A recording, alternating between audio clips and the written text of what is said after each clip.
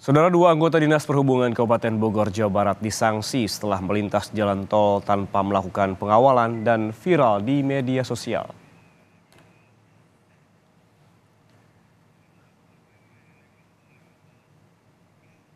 Saudara berikut ini adalah video saat dua petugas Dinas Perhubungan Kabupaten Bogor melaju di jalan tol. Di belakangnya nampak satu kendaraan berwarna putih sedang mengikuti.